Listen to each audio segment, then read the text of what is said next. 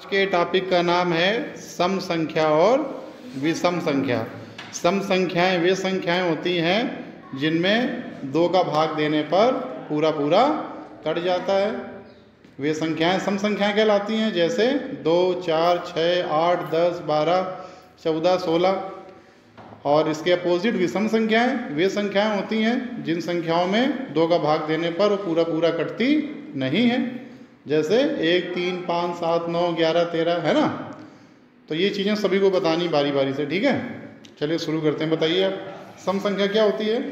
जिसमें दो का भाग पूरा पूरा कट जाए। विषम संख्या होती है जिसमें दो का भाग नहीं जाता है। सम संख्या में जिसमें दो का भाग चला जाए, दो चार छः आठ, दस, बारह, चौदह, सोलह। और विषम संख्या एक, तीन, पाँच, सात नौ ग्यारह तेरह पंद्रह। ठीक है बहुत बढ़िया। आगे? सम संख्या वो होती है जिसमें दो का भाग चला जाए और विषम संख्या वो होती है जिसमें दो का भाग नहीं सम- दो चार छः आठ दस बारह चौदह। विषम संख्या एक तीन पाँच सात नौ ग्यारह तेरह पंद्रह। ठीक है बैठ जाओ। आप बताओ बेटा। सम संख्या वो होती है सर जी जिसमें दो का भाग पूरा पूरा चले जाए और विषम संख्या वो होती है जिसमें दो का भाग नहीं जाए। और सम संख्या सर जी दो चार छः आठ दस बारह चौदह सोलह और विषम संख्या विषम संख्या एक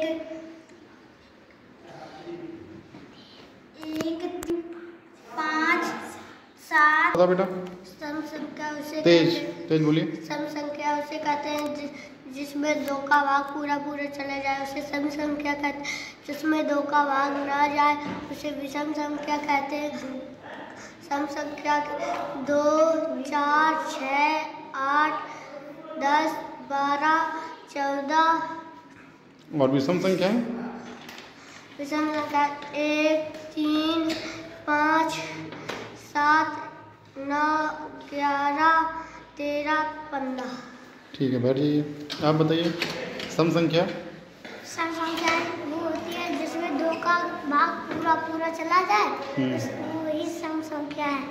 और विषम संख्या वो है जिसमें दो का भाग नहीं गया वो उसे कहते हैं विषम संख्या हम्म, सम संख्या है दो चार छः आठ दस बारह सोलह बारह चौदह सोलह ठीक है। और विषम संख्या संख्या एक हाँ। तीन पाँच सात हाँ, नौ हाँ, तेरह हम्म, ठीक है ठीक ठीक एक एक छोड़ के है ना? आप बताओ बेटा। आप बेटा बताइए सम संख्या क्या होती है? जिसमें दो का भाग पूरा पूरा चले जाए ठीक है और विषम संख्या है जिसमें दो का भाग नहीं जाए ठीक है सम संख्याओं में क्या क्या कौन कौन सी संख्याएँ होती हैं? दो चार छः आठ दस बारह ठीक है और। विषम है एक तीन पाँच सात नौ ठीक है। ग्यारह बहुत बढ़िया। लगभग लगभग सभी को ठीक है ठीक है। लगभग लगभग सभी को याद हो गया ठीक है। आप आगे बताइए बेटा आप बताइए। ठीक है। सम संख्याएँ क्या होती हैं? हैं दो से पूरा पूरा भाग चला जाए। दो से दो से पूरा पूरा, पूरा भाग चला जाए। ठीक है। जिसमें दो से पूरा पूरा भाग नहीं जाए। जिसमें दो का भाग पूरा पूरा नहीं जाए। हाँ, दो चार छ आठ ये सम संख्याएँ हैं। हाँ सर विषम संख्याएँ सही। एक तीन पाँच सात नौ ग्यारह तेरह पंद्रह। ठीक है। आगे आप बताइए सब। बेटा आप बताइए। सम संख्या बताइए आप।